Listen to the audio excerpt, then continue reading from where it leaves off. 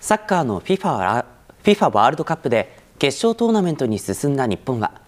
1回戦でクロアチアに敗れ初のベスト8進出を逃しました。未明の岡山からも大きな声援が送られました。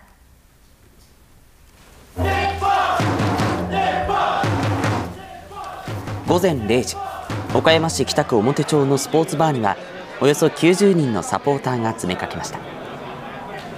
前半43分前田のゴールで日本が先制点を奪うと場内が一気に沸き立ちます。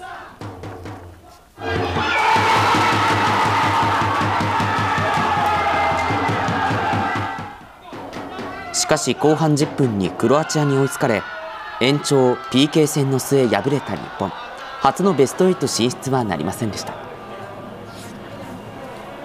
夢見させてもらったんでお疲れ様でしたって伝えたいです。ここまで来たことに感謝したいと思います。本当に楽しそうに思いました、はい、4年も楽しみにしてます。一方岡山市北区野田屋町の別のスポーツバーでもサポーターが声援を送っていました。今から6年前店主の伊坂さんが全国各地のクラフトビールなどを飲みながらスポーツ談義を楽しんでほしいと開いた店です。伊坂さんはこの大会からもっと岡山のスポーツ熱が盛り上がることを期待しています。知らない人と隣同士で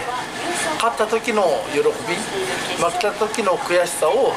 味わえるっていう環境はまだまだ必要だとは思います。サッカーを楽しんでもらいたいポーツを楽しんでもらいたいっていう文化をもっと岡山で楽しんでもらいたいなと思ってるんで。